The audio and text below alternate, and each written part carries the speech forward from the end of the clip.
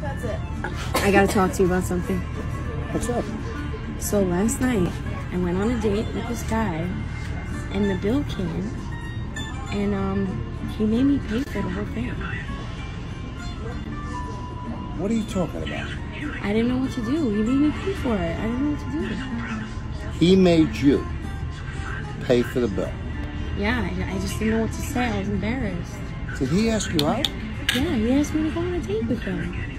Who the hell asks you out and makes you pay for the bill? I don't know. I didn't know what to do. What was I supposed to do? What were you supposed to do? You should have got up and walked out. I mean, really. I mean, it's bad enough he did something stupid like that, but I gotta be honest with you. You're just as stupid. I, what are you talking about? You can't.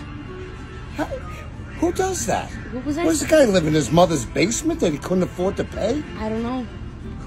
I don't know. Why would you go out with somebody like that? I don't know. It was bad, I think. Should I, I don't know Bad? what to do. Bad.